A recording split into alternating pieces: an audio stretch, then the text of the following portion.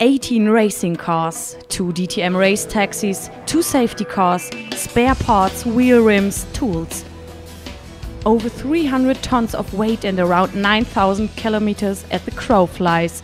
The DTM has arrived for the final in Shanghai. This outstanding world class final is also one huge logistical operation.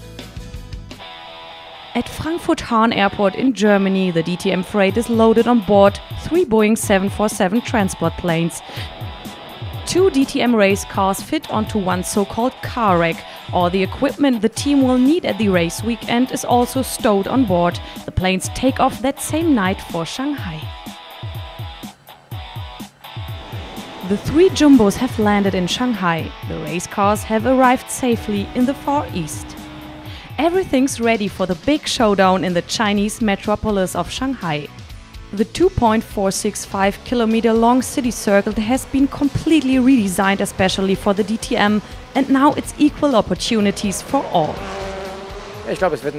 I think it's going to be an extremely tough race. No one's familiar with this circuit.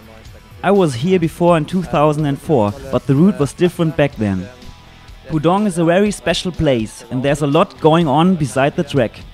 I'm going to give all I've got and hope that I can win this race too. They all want to win the Shanghai race, but only three of them still have the chance to clinch the championship.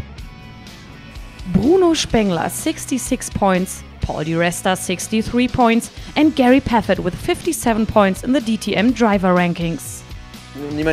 Nobody knows the circuit, so it will be very interesting, and I'm going to give all I've got.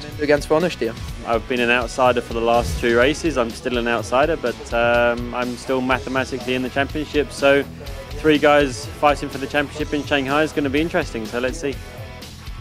Audi are free from pressure and want to follow up on Timo Scheider's performance in Adria. For Mercedes Benz, the big question is who will be DTM champion? The race in Shanghai has all the makings of gripping, action packed international final to the DTM 2010.